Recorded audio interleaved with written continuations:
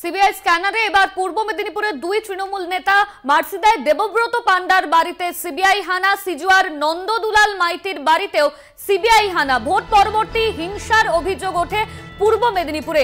এই নিয়ে আমরা বিস্তারিত জানব। আমাদের সঙ্গে রয়েছেন আমাদের প্রতিনিধি সৌমজিৎ চট্টোপাধ্যায়। সৌমজিৎ, পূর্ব মেদিনীপুরের দুই তৃণমূল নেতার বাড়িতে সিবিআই হানা ঠিক কি কি অভিযোগ উঠছে?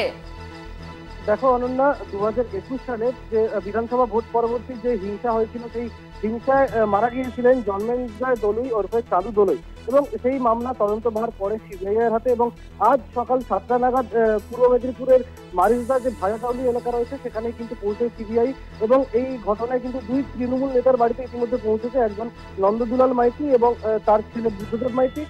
যিনি কর্মসূত্রে হাওড়ায় থাকেন এবং দেবব্রত পণ্ডা, তার বাড়িতেও কিন্তু সিবিআই পৌঁছেছে। ইতিমধ্যেই সিবিআই আধিকারিকরা তাদের পরিবারের সাথে কথা বলছেন এবং খতিয়ে দেখছেন পুরো বিষয়টি। অনন্যা। ধন্যবাদ তোমায়। আমাদের সঙ্গে ছিলেন আমাদের প্রতিনিধি সৌম্যজিৎ চট্টোপাধ্যায়। ভোট পরবর্তী হিংসার অভিযোগে হানা, পূর্ব মেদিনীপুরের দুই তৃণমূল নেতার বাড়িতে সিবিআই তল্লাশি। সিবিআই এর নজরে পূর্ব মেদিনীপুরের দুই টিএমসি নেতা।